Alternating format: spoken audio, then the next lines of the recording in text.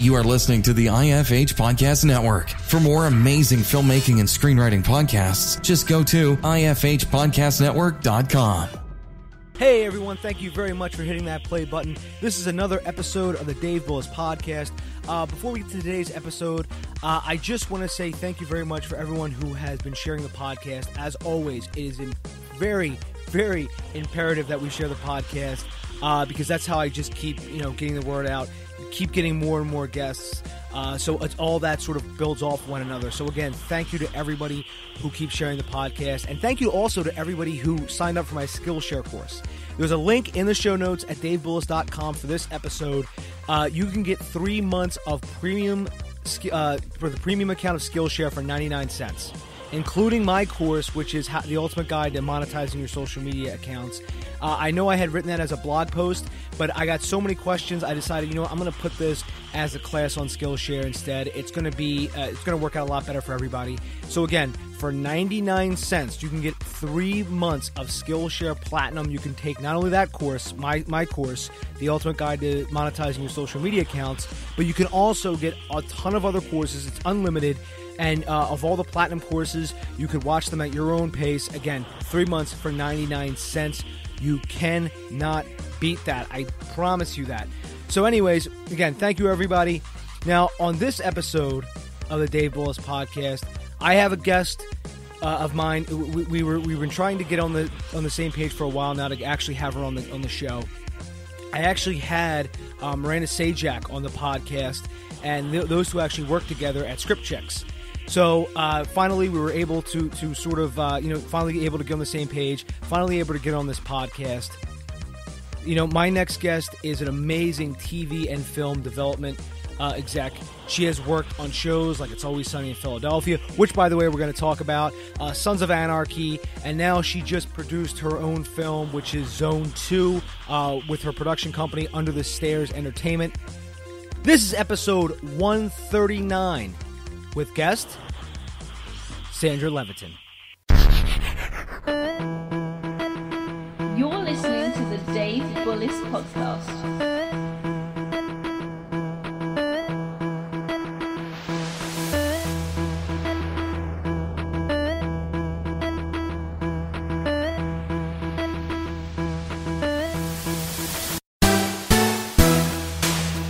Hey, Sandra, thanks a lot for coming on the show. Thank you for having me. So, Sandra, you know, growing up, you know, were you always sort of interested in, you know, in film and TV, and and was that you know, the main reason why you know you're in it today was because you know you you sort of found it at a young, at a young age? Oh, absolutely. Um, there's never been a point in my life where I wasn't going to do this. Um, as my mom likes to tell the story that by the time I was born, my bags were already packed and ready to move to Los Angeles to work in film and TV. Um, there was never a single question ever um, in terms of what I was going to do with my life. This was always going to be it. And I started doing it quite young, um, you know, theater at very early ages, and then eventually started working in cable access. So I started working in television at a super young age, um, probably around 16 years old. So when you when you first moved out to uh, to uh, Los Angeles, did you actually know anybody, or did you just completely know nobody and you sort of just had to find your way? Thankfully I came out with a really great uh, support system. I went to, you know, Emerson College and we have a huge alumni, you know, mafia, if you will, out here along with, you know, all of our friends. So by the time that we, you know, get to our senior year, we do internship, we move, all move out here together. We do internships, you know, we make contacts that way and we all just kind of grow in the industry together. So thankfully, um, coming out here fresh out of, you know, during school, actually, um, we had, a, I had a wonderful support system. Excellent. So, do you actually, and you did go to college for for film production? Uh, actually, I am probably one of the few people who actually has a degree in television. Oh wow. Yep, I'm I'm very specific. yeah, I I mean I, I, actually have a degree in business, uh, so it's kind of you know it's interesting how everyone sort of finds their way into this industry. Oh, definitely. Everyone has such a unique and such a fascinating path. It's really cool to listen to everyone else's stories. Yeah, yeah, exactly. That's why when I was doing this podcast, you know, I've heard I've heard everyone who's been on here there has a different story, and it's always interesting to hear everyone's different story because they're all different. You know. Oh, absolutely, absolutely. So when you got out to LA, you know, what were some of the first things and first uh, some some of the first projects that you started to work on? Oh gosh. Well, my very first um, Los Angeles jobs, if you will, was an internship while I was still in school, and that was at 20th Century Fox.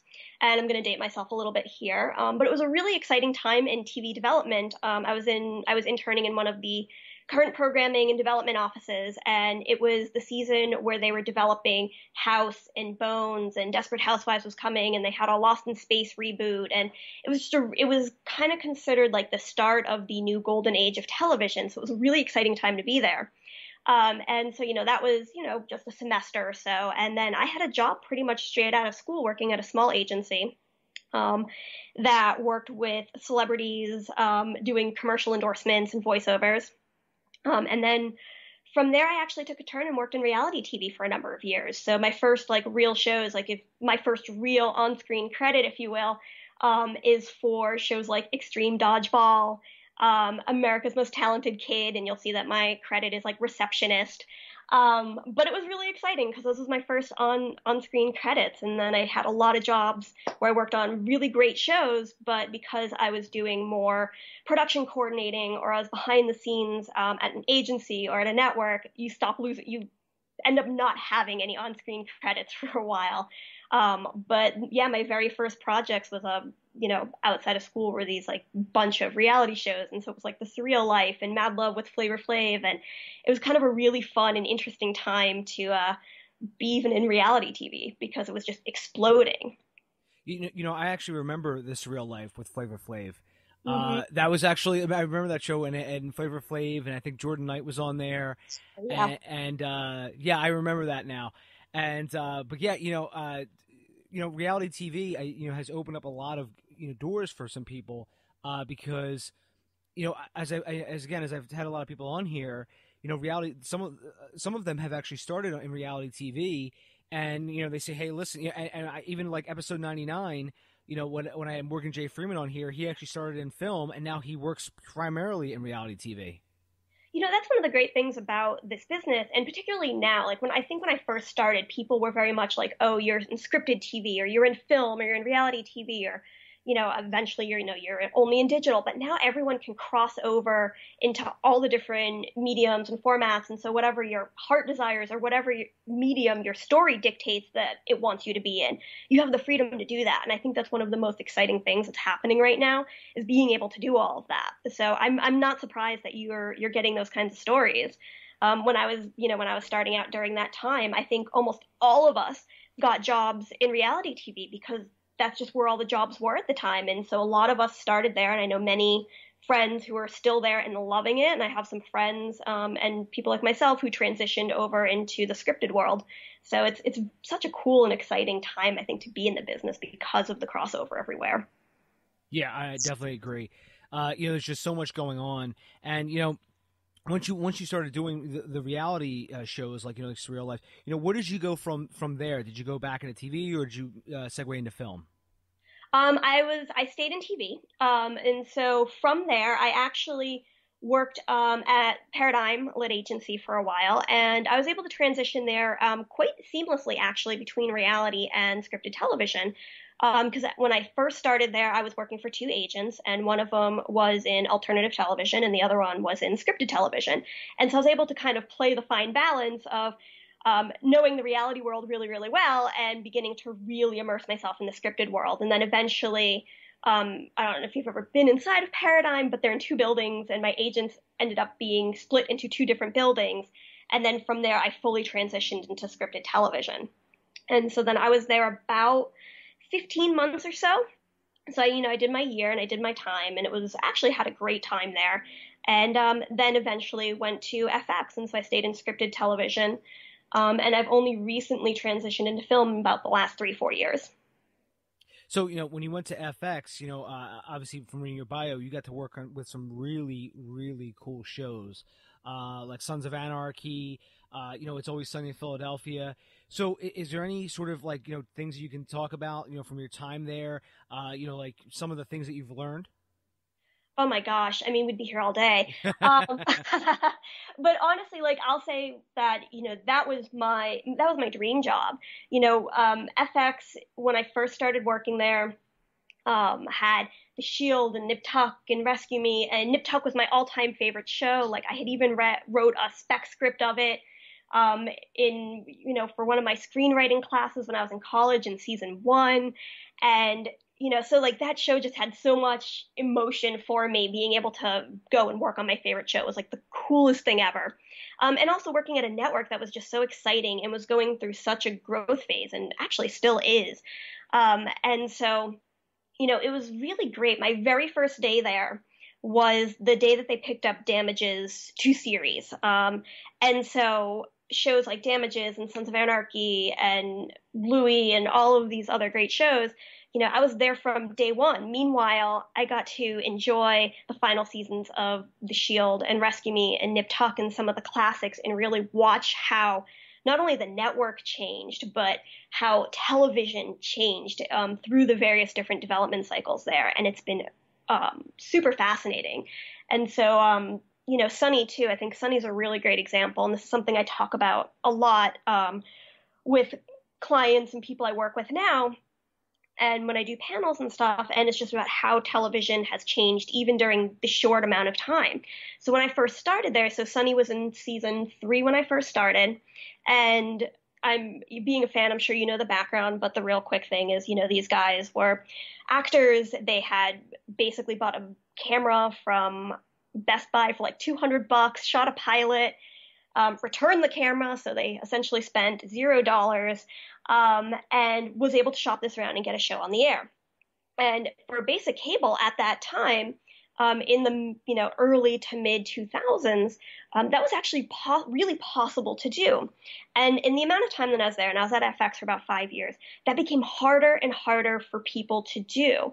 Um, suddenly, the schedule was you know not just peppered with you know people we already had you know good relationships with writers on other shows, all different levels of writers pitching shows. But by the time that I had actually left, and that was in 2012 um, and we see this a lot more now, I think, across the board in television, is that it has gone very much the way of the film studios, which means that you need to have A plus talent attached, and that can mean writers and showrunners, that can mean some other high level producer, some high level actor, talent, musician, um, somebody who's a household name. And it was even hard to get on the schedule. People were fighting to get on the schedule to just pitch shows at that point in time. And this was right before um, you know Netflix and Hulu and them like really exploded onto the scene as well. So thankfully, there's more outlets um, to do all of that. But it's just to be able to see all of that change and to see the you know just even growth of of television during that time was just fascinating. Um, so I recommend going back and definitely like reading up on, you know, history and interviews, not just with critics, but you know, when they interview the executives and the showrunners, you really see how the shows have changed. Yeah, you know, I was actually inspired by uh, it, It's Always Sunny in Philadelphia uh, to create my own TV pilot, and I ended up shooting that. Uh, mine cost a hell of a lot more than theirs did, though, because uh, theirs cost zero. Uh, I, I, was very stupid and I tried to put way too much production value in mine. Uh, so uh, to make a long story short, I ended up shooting in a news uh, film studio, a new soundstage that opened up right down the street from me. Uh, we ended up buying up uh, a Best Buy, a Rite Aid, and there was one other store that was going out of business. We bought a lot of stuff at a heavily discounted price, including racks and cover art for like movies and stuff, and all this other stuff. And it was just, I mean, I'm talking like pennies on the dollar. And uh, we built this whole thing. I shot it and the whole time I, mean I'm, I'm leaving out a lot of stuff by the way sure uh, but as you know as, as i shot it there were so many problems behind the camera. You know, listeners this podcast know what I'm talking about, but there were so many problems behind the camera that it, it showed on camera. And when I went to shop this around, uh, one of the notes I got was this seems like it would be like something that, that my kids would watch. And he's like, you know, it's almost like you're there. He's like, it's almost like this is a is a polished version but it's not quite there yet. And I and, and I would say, you know, that's exactly right. You know, and I got the pitch to uh, to a G four, and right as they were closing, and I actually, that's how I actually met Chris Gore, and uh, it, it, was a shame because he, people were saying like this is exactly what we would have put on G four. Yeah, I mean that that happens, and you know, this is a debate that I engage in often on on Twitter with people because I think it's just it's so fascinating and to watch it change, but there really isn't an independent television market quite yet in the same way that there is with film. Um, and so a lot of people are going out and they're doing exactly what you did. They're spending a lot of money to shoot these pilots. And, you know, there's a couple good festivals now for it, like ITV and whatnot. And occasionally people do get options and pickups from it. But television tends to be also a little bit more of a hierarchy than film does. So you can come in with something like really, really great, but with no experience, you're going to be paired with, you know, other showrunners. You're going to have other people kind of coming in creatively and financially. And when you sell to a studio and a network, you know, they, they're really the ones calling the shots and in charge, and they like to work with people they've worked with before. And so selling and pitching shows still kind of tend to go through the same funnel system where you need to have the representatives or you know lawyers and the people that you know to get you in through the proper doors to do that. Um, even for a lot of the new digital networks, um, you know Hulu and Crackle and Awesomeness TV and all of them, they have a little bit more of an independent stream, but at the same time, you're still going through that kind of same gatekeeper funnel system. And you know, in film, you can really you can just go out there, you can make it, and you can find some way to distribute it um, either through uh, you know bigger company to distribute it. You can do it yourself online. I know you've had some really great indie filmmakers who have done that themselves and you know have really wonderful careers that way. And in television, it's a lot harder because TV signals are still owned by big conglomerates. And even with these big, you know, digital um, outlets like Netflix and Amazon, they're still owned by these big conglomerates. And so they still have this very traditional funnel system. So being able to go out there and make an independent TV show and just shopping it around is very difficult.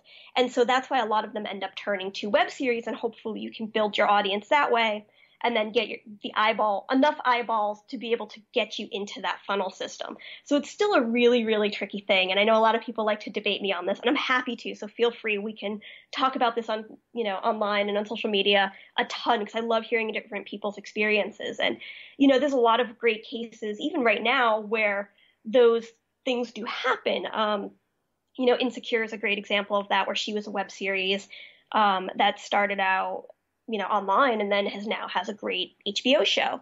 Um, you know, the Sunny guys are a really great example of that, but their time was earlier where that was a little bit possible. But what I think a lot of people don't realize about that story is they were already part of the traditional funnel system. And I think that's something that people don't necessarily realize.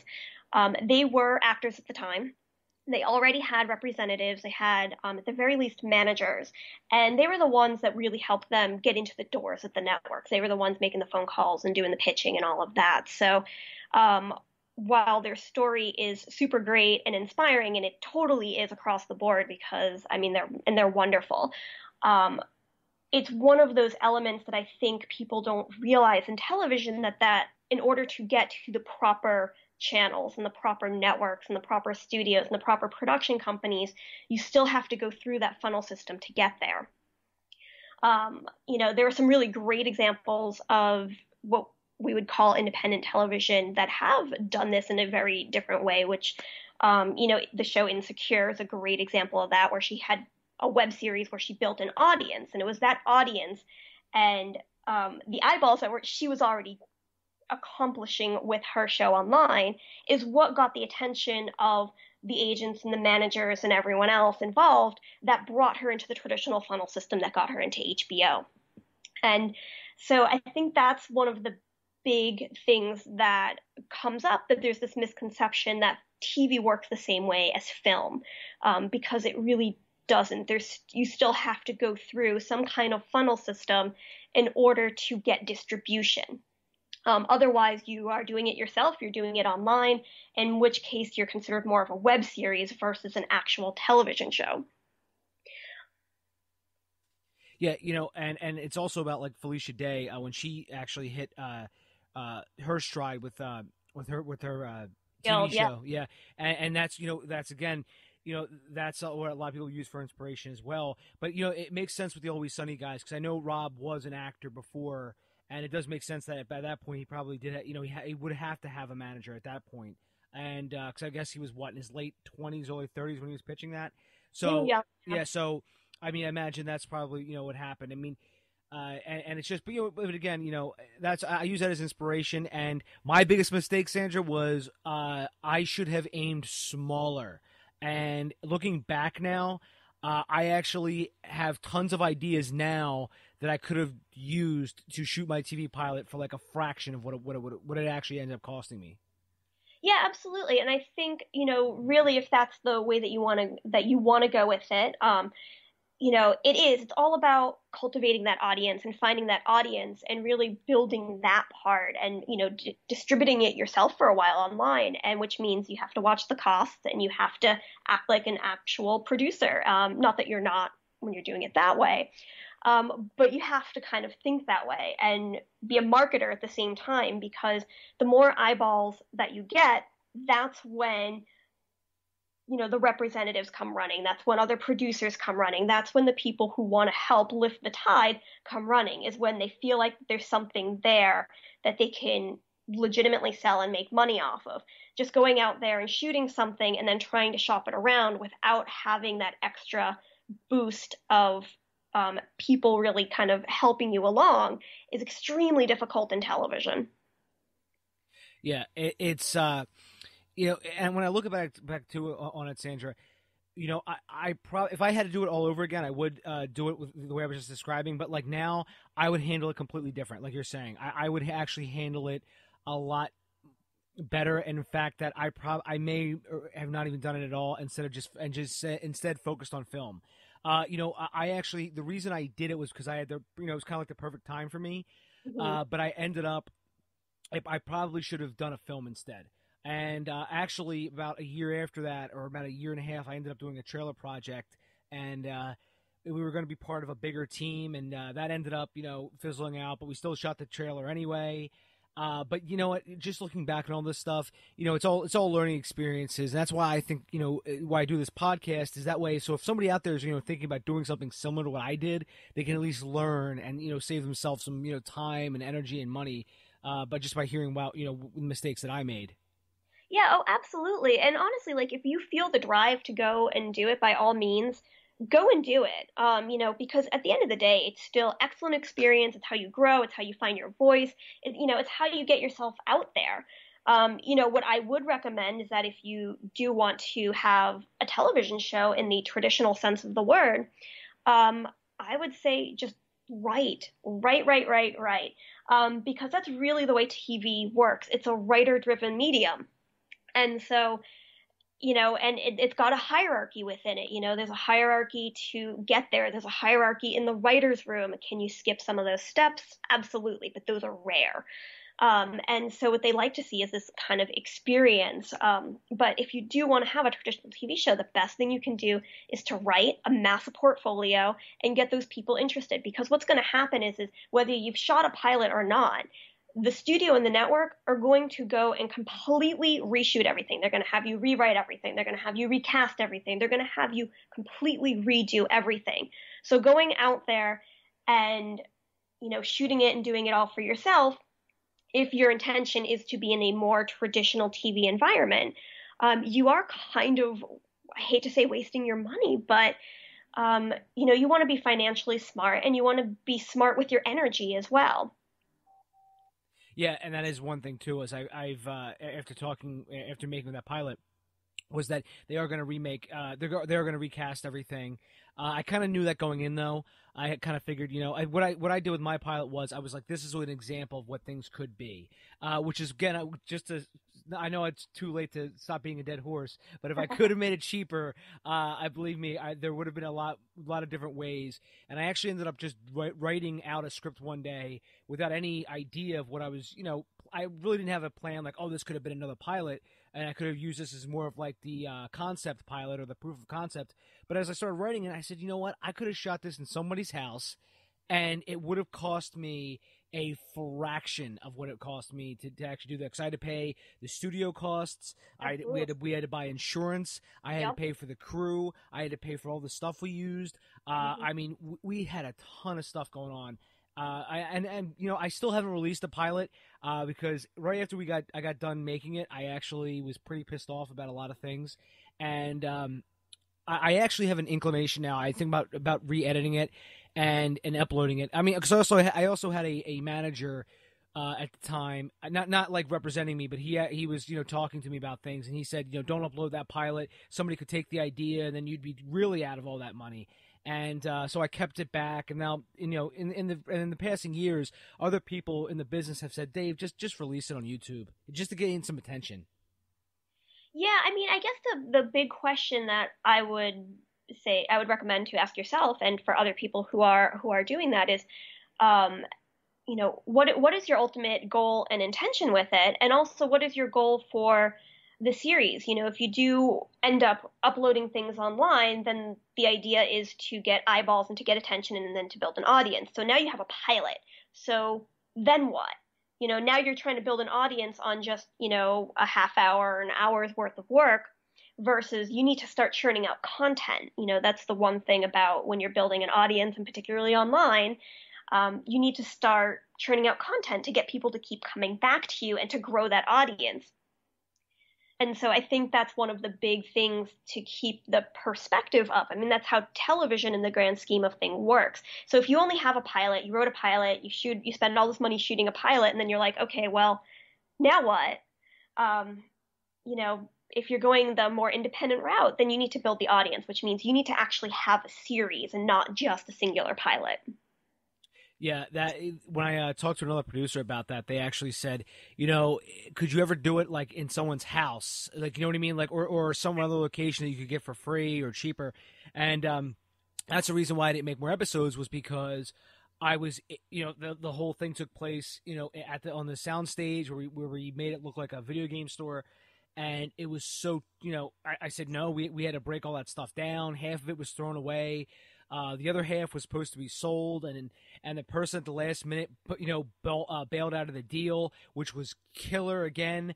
Uh, I mean, honestly, Sandra, I actually wrote, and this is a funny part too. I actually wrote a book all about this, and I, I, I chronicled every day. I chronicled all the things that went wrong, went right, and I actually pitched the book as well and uh, most publishers were like, "Ah, we don't we don't really have a, have had a lot of success with uh, firsthand accounts like this. Usually, we we, we prefer the how to books, uh, but now." The more I talk about the book, everyone goes, "Well, well, do you still have that ready to publish?" And I, and I'll say, "Well, it's you know, it's it's in a bunch of note forms." And they say, "Well, if you ever typed it up, you know, you should just self publish it now." Because I was back- just say that's one of the great things about now is that you can do things like that. yeah, I mean, I actually I'm thinking about putting it together with another book that I was going to write and put the two together. And just because it was going to go back and forth, I actually got uh, there's a book called uh, The Disaster Artist by Greg Sestero, and it's about making the room. And, and I got inspired because it was almost like he, you know, each chapter is different. Each chat, one chapter is in the present, one chapter is in the past, and that's mm-hmm. sort of what was going on, and that's sort of what I was going to do anyway. Was you know trying to make this film and also working at a soul crushing day job. And those two things, uh, the stories I have from both of those, nobody really believes.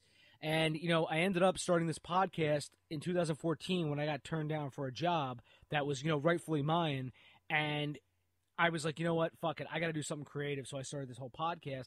But you know, uh, that's that's something that I've actually, you know, I, I'm just working on, you know, so many different things. It's kind of hard to sometimes find the time to do some some of these little like projects like that, like creating the book and uh, and and just doing the Kindle publishing route. But it's something in the back of my mind, and I also wonder if some people would actually believe half the stories that I actually have in there.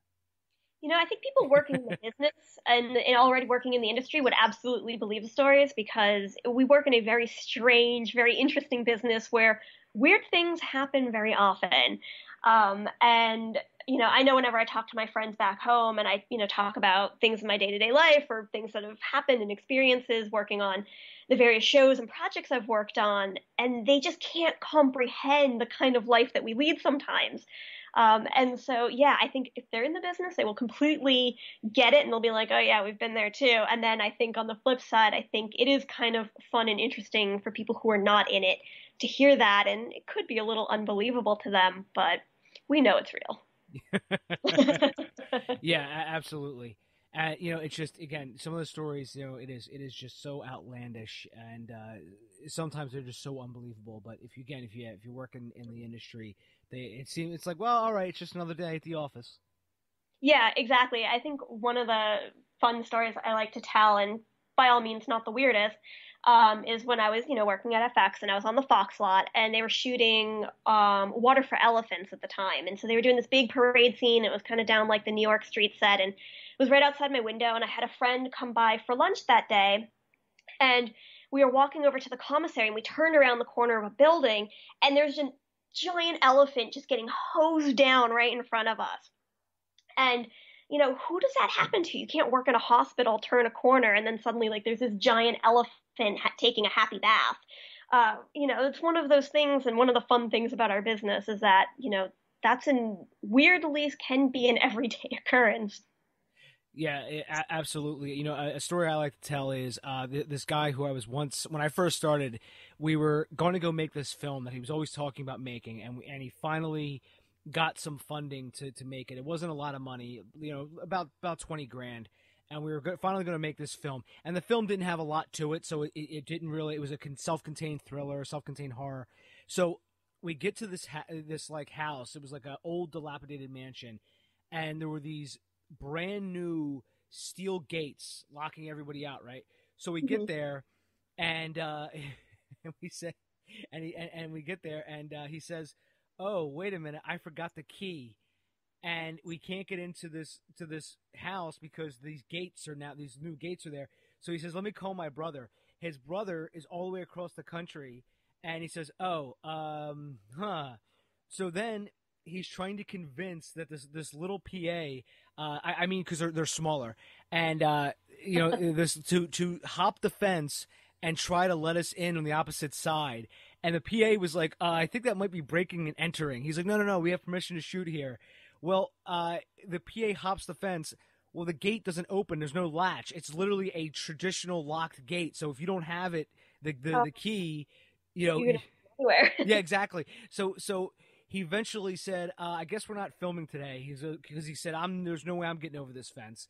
And I was trying to think of a way that we could do this, but uh, you know, it's just funny because I tell this story to people and they go, "What the hell?" They were like, "You don't have that. How do you not have a key?" And I said, "Well, uh, the guy, the guy who, who, was doing this whole thing just completely forgot about it."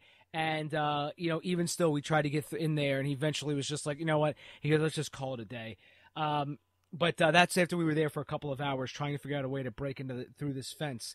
Uh, but oh, it, the, I mean, the stories are hysterical. I mean, like when you think about your daily conversations that you have when you're, you know, in pre-production and production on shows, and you're trying to figure it all out, and you're having these intense conversations about, you know, somebody's, you know, bodily functions or you know how to make something look bloodier or not bloody you know like there's so many a- like aspects of it like i remember we would watch you know whenever we'd watch dailies um, and particularly on some of our shows, they were a little bit more on the racier side of things.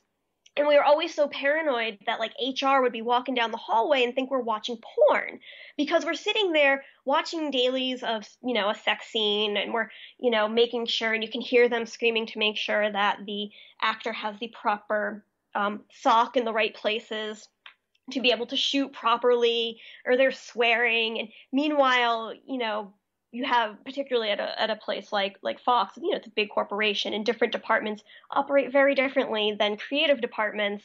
And so we were always so paranoid that they would be coming down the hallway and report us for, you know, vulgarity or porn or God knows what else, you know, because, you know, we would be in things you know these group things about like you know sexual harassment and language and there would be another like there would be like a little old lady complaining how somebody swore during one of their meetings and we just kind of duck our heads because that's half of what we're doing.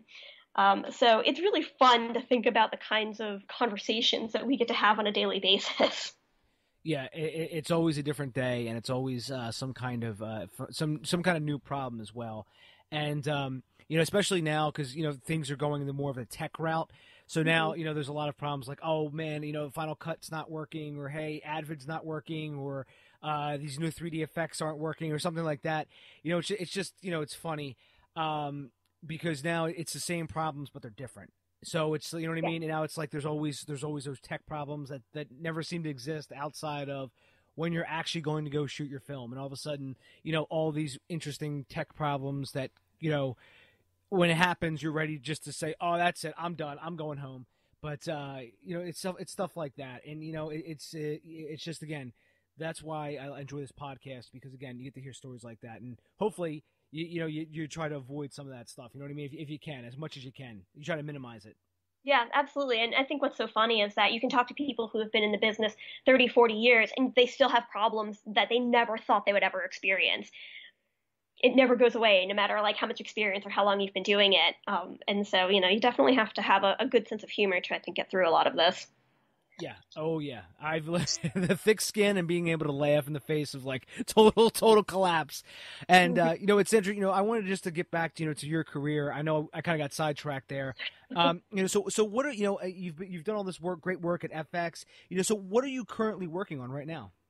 So um, I left FX, like I said, um, in 2012. I took a little time off because I have worked my entire life.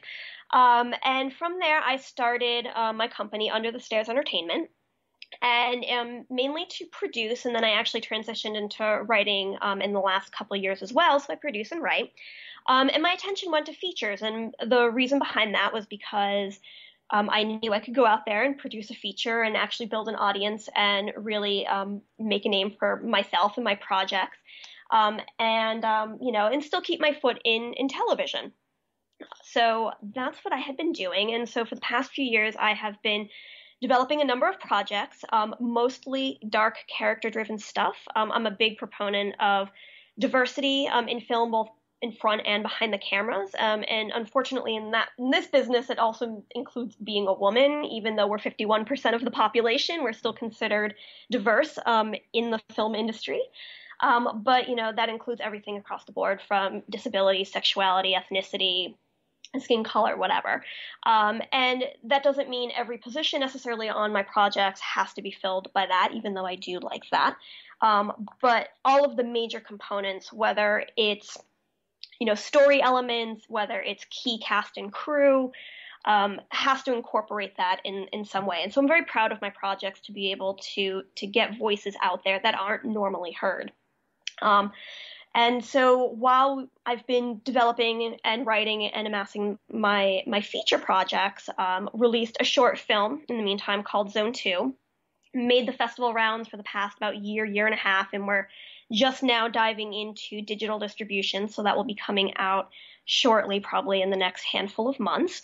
Um, and so we will have announcements on that soon. Um, but that one did really well, played a lot of major horror festivals, it's played all over the world, super proud of it, um, and really just acted as a way to propel the company into the features um, and kind of regaining my my onset toes because spending so much time working at a network and working at the agencies i hadn't been on set in a while and so it really helped do that um, and so currently now i have about three projects i'm producing and about three that i'm writing um, one of them, right now, we are going out. We are in the process of finding financing and casting, and I'm looking for directors on two of the others.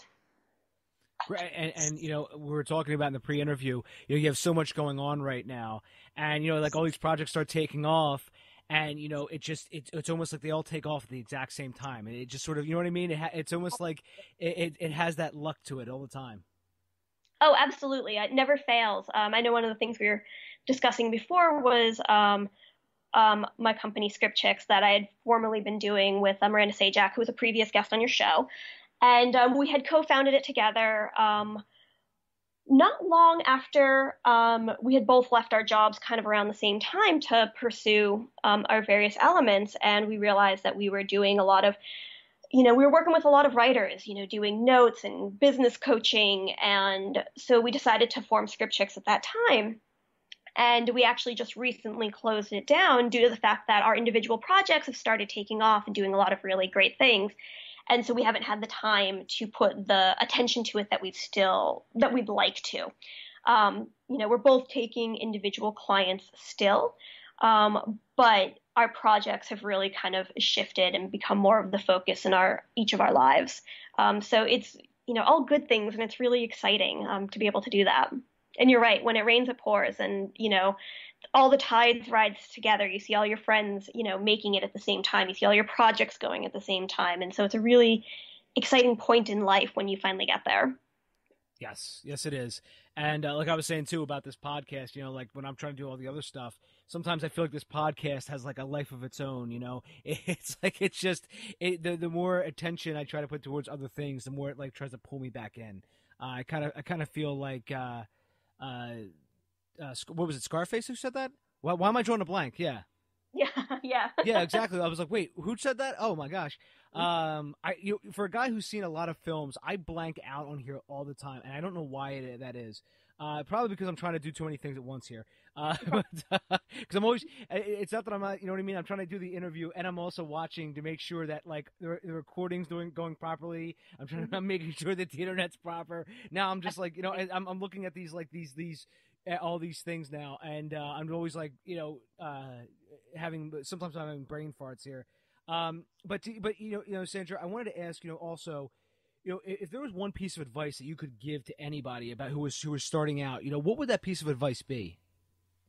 Oh gosh, that is a very big question. Um, it would be really to just get out there and do things um, and meet people because this business is so much about networking, and I know that this is advice that you've heard a million times before, but it is true. Um, it's, you know, get to know people and get to know people in a very genuine, authentic way because people can smell um, BS from a mile away. Um, we all know that we're all talking to each other and we're going to networking events because we all want something from each other.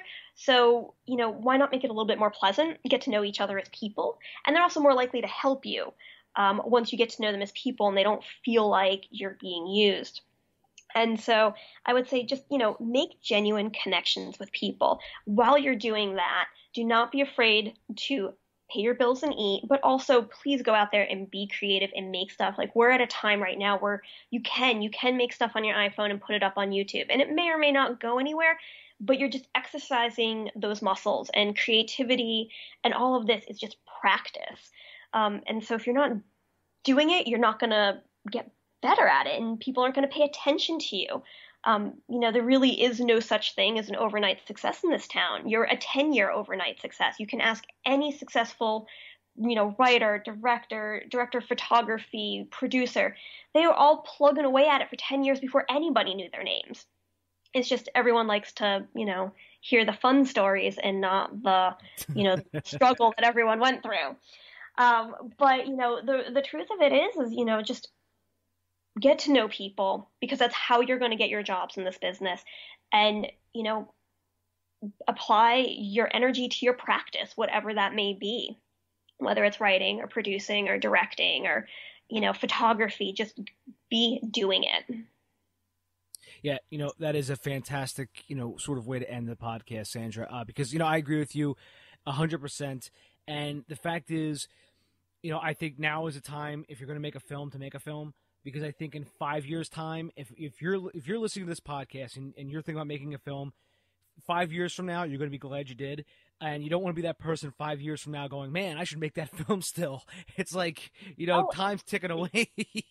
absolutely, and you know, and I'm so jealous of of all of you young people now who have all of this technology because when I was coming up and when I was growing up, you know, we had like VHS cameras. We could, you know, it was I learned tape to tape editing.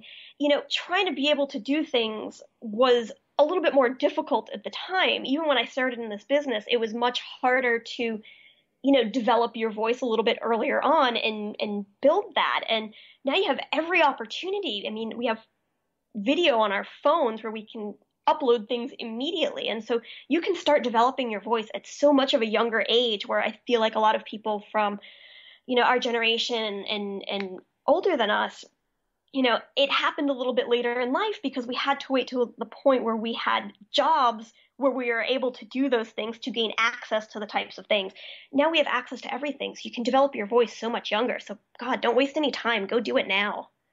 Yes, absolutely, Sandra, and uh, you know that's why I have so many people on here, and and of, of all different age backgrounds. The youngest person I ever had on here was uh, 19 or 20, and the oldest person I had on here was 86.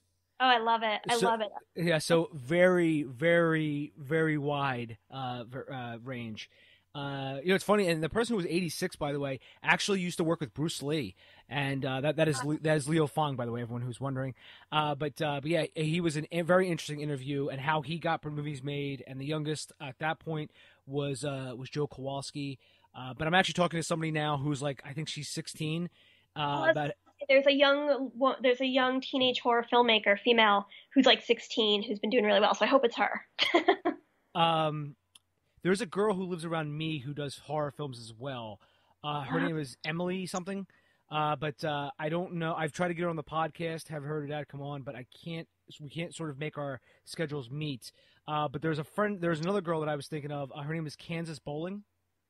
Mm, okay. And she actually, uh, I was talking about her to have her on. Yeah, I I think it's great. Um, there's such a great community of of, of filmmakers online. Like it's just such a great, great resource and social media and everyone's getting younger and younger and younger.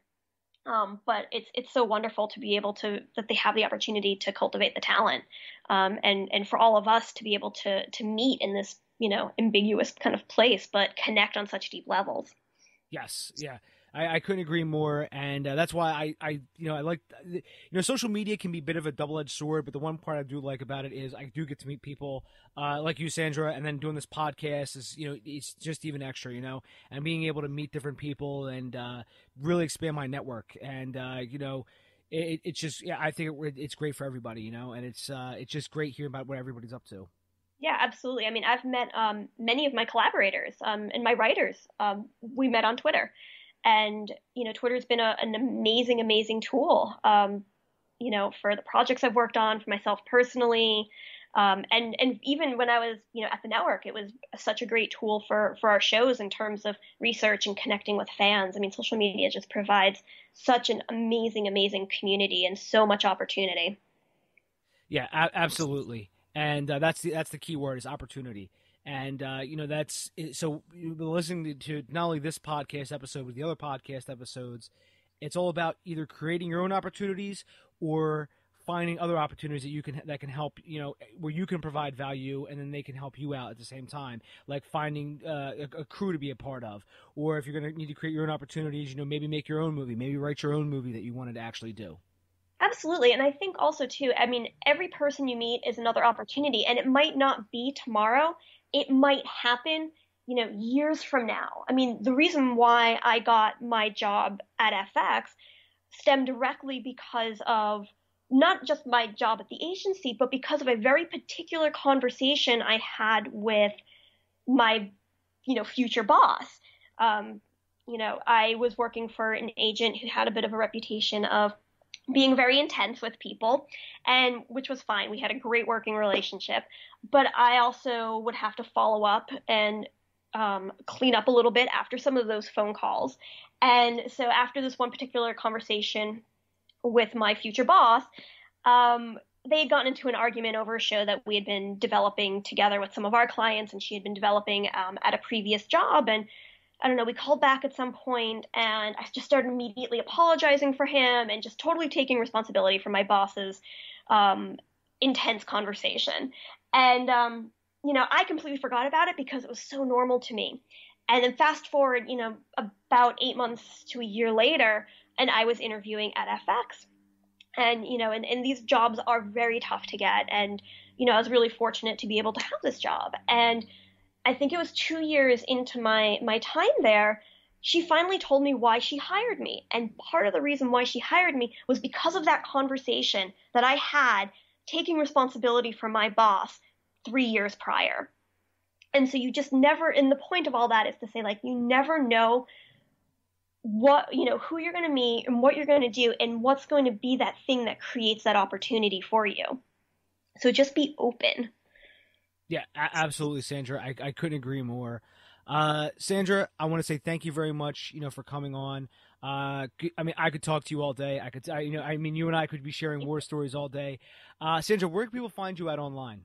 Absolutely. Um, you can find my company at utsentertainment.com. I'm also on Twitter. Um, I have two handles. One for my personal handle, which is Lil SJL, so it's L I L underscore SJL and the other one is Understairs Ent. um, and that one obviously is for my company. Um, I like to host a little thing called TV Chat, and I love talking about television. I love talking about film and story. So come hang out with me there um, and ask me anything. I'm I'm always open for conversation. And I will link to all of that in the show notes, everybody and uh, you know you can talk to Sandra uh, on Twitter and uh, or, or, argue with her as she as she put earlier. Absolutely, come come come argue with me. It's fun. and everyone, it's DaveBullis.com. Twitter, it's at Dave underscore Bullis. Uh, it's funny, Sandra, because there was a there's a guy named at Dave Bullis, and I I told him I said we should probably switch Twitter handles, and he refused. And people kept tweeting at him looking for me, and finally, one day, he was like, you know, he's like, hey, everybody, he's like, this is the Dave Bullis you want. And I, I responded back to him, and he ended up blocking me, and then he ended up, uh, he doesn't even use Twitter anymore. So, oh, no. so I was like, I, I, tried to help him. I said, listen, I know this was going to kill you. I, I, I said to him, I know they're going to kill you with tweets. I said, they're, they're looking for me and hitting you up instead. And, uh, but it was just, it was one of those things. And, uh, unfortunately, you know, like we we couldn't sort of switch. So it's what it's at Dave underscore Bullis. Uh, Sandra, I want to say thank you so much for coming on. Well, thank you so much for having me. This was super fun, and let's talk more. Yeah, absolutely, absolutely, and uh, please stay in touch, and I will talk to you soon. Absolutely, thank you so much. Thanks, Sandra. Bye. Bye bye. Find Dave at davebullis.com. Please make sure to subscribe and share the podcast.